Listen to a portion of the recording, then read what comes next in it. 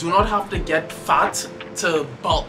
I think when I was my leanest physique last year, I was maybe closer to 8%, and I would see right now I'm closer to 12%. For many people, being this lean might not be sustainable, and it all comes down to your genetics. Some people, like myself, have the ability to stay this lean without actually feeling like they're starving. For most of you guys that are maybe watching my channel, if you're bulking, maybe get up to 18% body fat max, past that, you're just gonna get diminishing returns. Once you reach a certain point or certain body fat percentage, you could just maintain from there and just continue eating that same amount of calories and you could actually gain muscle and lose fat simultaneously, but it will take time. You have to have patience.